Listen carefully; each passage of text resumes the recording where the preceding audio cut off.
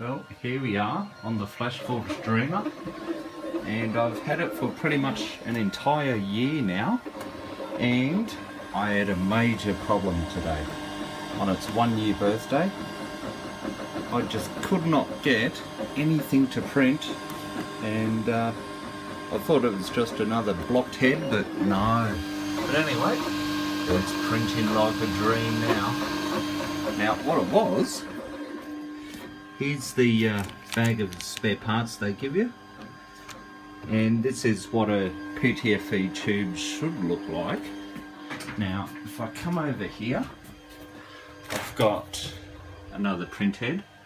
So the tube goes up the channel here. So under there, you can just see it inside that tube. It's to stop the filament melting as it goes through the heater. But anyway, this is what the tube should look like. Oh, it's a little bit dirty.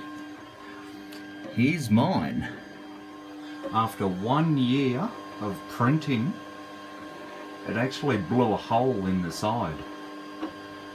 And, oh wow, this is the source of all my jams and look how little filament could actually come through there. Tiny, tiny. And uh, anyway, so we've got a brand new tube in there. So there we go. Ongoing maintenance for the Flashforge Dreamer. And let's have a look. That's looking a lot better. Hopefully doesn't hit the camera. There we go. That's looking good. A lot better than this.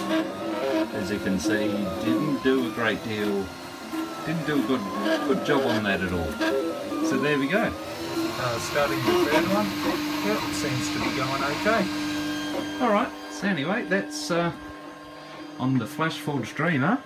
And don't forget about your uh, PTFE tube. Um, it is a uh, consumable, I guess. Uh, actually blew a hole in the side of mine. Okay, bye.